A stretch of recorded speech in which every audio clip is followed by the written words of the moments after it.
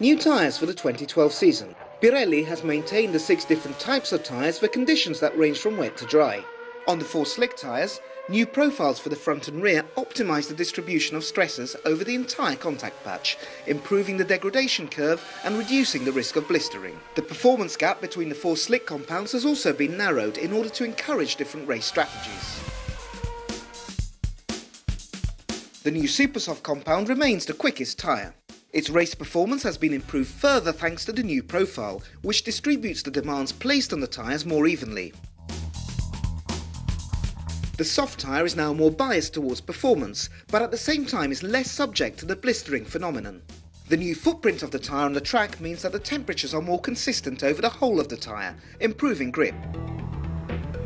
The new medium tyre represents an excellent compromise between grip and durability, especially in combination with the 2012 profiles. Along with a more efficient degradation curve, there is improved turning and better road holding under braking.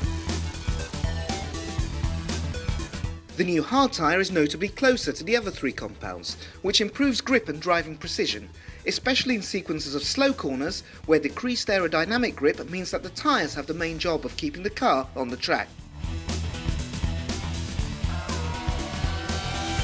There are also some innovations for the wet weather tyres. Pirelli is introducing the Cinturato, the new name for the full wet and intermediate tyres which are designed to cope with a wide range of rain conditions.